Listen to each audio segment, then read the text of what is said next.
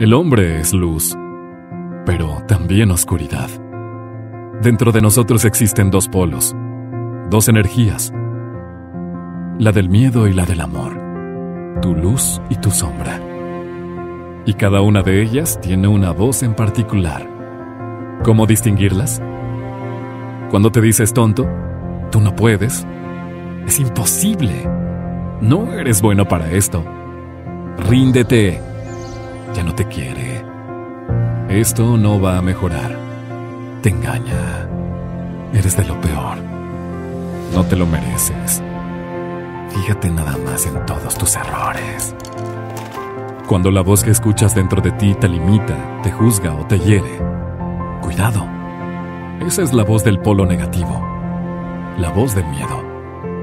Mientras que cuando escuchas palabras como, bien, tú puedes, sigue adelante, ve por ello, vas a lograrlo, eres fuerte, confía, cree en ti. Presta atención, hazle caso, pues esa es la voz del amor, la que te motiva, la que te impulsa, la que te sostiene, la que te apoya.